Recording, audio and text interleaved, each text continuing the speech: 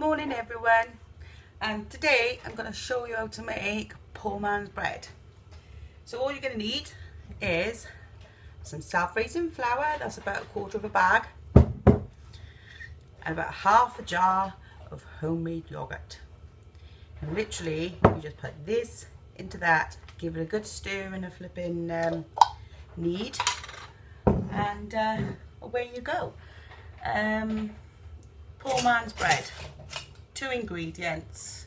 You could add um, extra ingredients if you wanted to. Herbs. You could make savoury ones. They're like little buns.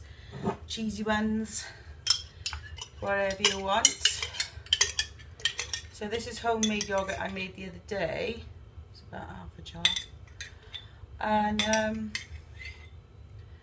this is going to be really nice. So you just stir it up, yogurt and flour, self-raising flour preferably, um, or obviously you can use plain flour and then just add your um, bicarbonate soda to it, or um, raising agent, whichever way you do it. You don't have to let these rise, but you just put them in a warm place um, for about 10 minutes you get quite a fine crumb on these. Um, it's a cross between a muffin and a scone, or if you're dead posh, scone. Um, so they're just really good ways, because I've actually run out of bread today. So um, it's a long walk to my local shop. So I looked in the cupboard and I thought, yeah, yogurt's left, flour's left, reuse, recycle, repurpose, frugal living, all of those things. So you want to get that all together now. It's quite a sticky dough.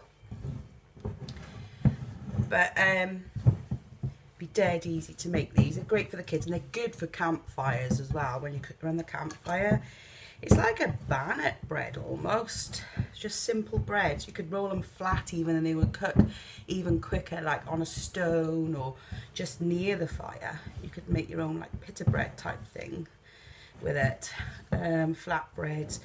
You know, at the end of the day, what is bread? Bread is just a vehicle to get food into you or to fill you up.